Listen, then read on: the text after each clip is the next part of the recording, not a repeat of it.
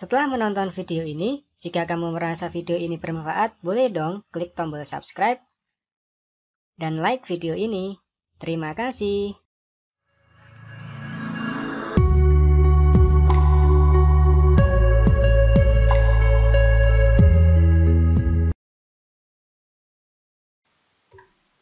Kembali lagi dengan biologi edukasi. Kali ini biologi edukasi akan membahas kembali soal ujian nasional biologi tahun 2016-2017. Kemarin kita sudah membahas soal 1 sampai 10. Pada kesempatan kali ini kita akan membahas nomor soal 11 sampai 20. Langsung saja untuk nomor 11 di sini ada sebuah pernyataan tabel yang berhubungan dengan jaringan ciri dan fungsinya. Untuk bisa menjawab soal ini, yang pertama kalian harus tahu dulu pada poin A di sini adalah kalau dilihat dari strukturnya ini adalah jaringan otot jantung. Di ini adalah otot jantung.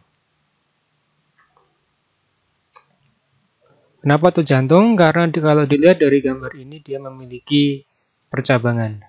Karena ciri khas dari otot jantung di sini adalah dia berbentuk lurik dan memiliki cabang.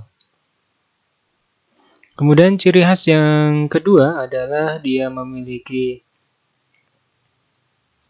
inti sel banyak. Tetapi lokasinya ada di bagian tengah.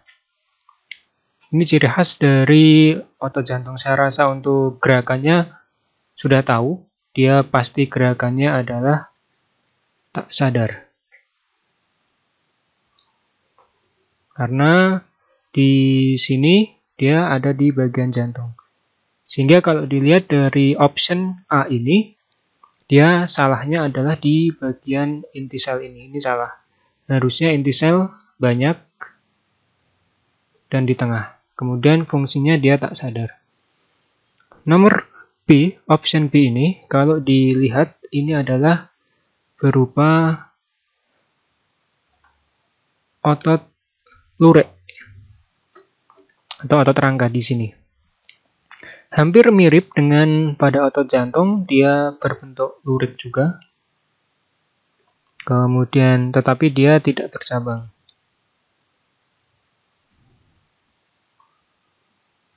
Kemudian, dari otot lurik ini dia, dia juga memiliki inti banyak. Tetapi lokasinya ada di bagian pinggir.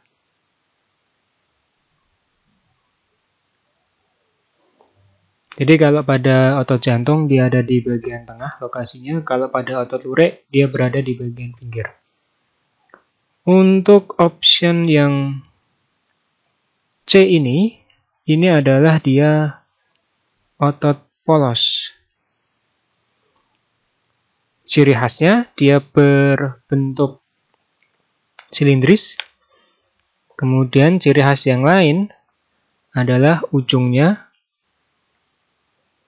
runcing. Jadi ciri khasnya ada di sini. Kemudian dia bekerja secara tak sadar. Nah, dari tiga ini kita sudah bisa mendapatkan sebuah jawaban dari apakah dia otot jantung, lurik, ataukah otot polos.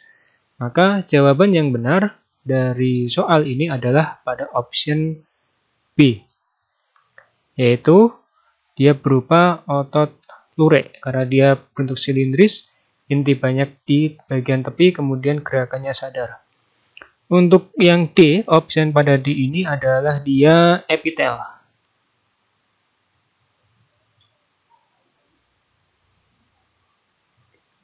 Pipih. Selapis.